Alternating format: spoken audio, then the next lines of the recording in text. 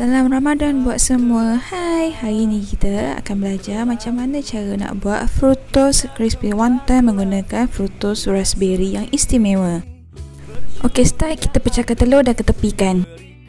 Okey, nak cerita sikit pasal frutos ni. Ia adalah produk buatan Malaysia yang premium. Sesuai sangat dijadikan topping untuk baking dan masakan. Teksturnya pekat dan mengandungi kandungan buah-buahan yang sebenar tau. Okey, mudah je nak buat. Ambilkan ni kulit wantan, letak atas alas dan letakkan sesuduti fili frutos dekat tengah-tengah. Lepas tu korang letakkan cheese yang dipotong kecil tu ikut suka hati korang nak banyak mana. Untuk lekatkan kulit wantan, korang gunakan air yang dibancuh dengan tepung gandum. Gunakan berus, korang sapu dekat keliling wantan tu tau. Dah buat banyak-banyak, korang celupkan pula ke dalam telur. Lepas tu, korang salurkan bersama sebut roti atau breadcrumb. Ketepikan dan ulang sampai habis. Inilah hasil kejadiannya tadi. Nampak macam lembek. Tapi jangan risau sebab kulit wantan ni nipis. Nanti dia jadi rangup.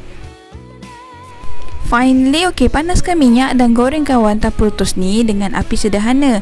Bila yang sebelah tu dah masak, balikkan ke sebelah pula dan goreng sampai keemasan.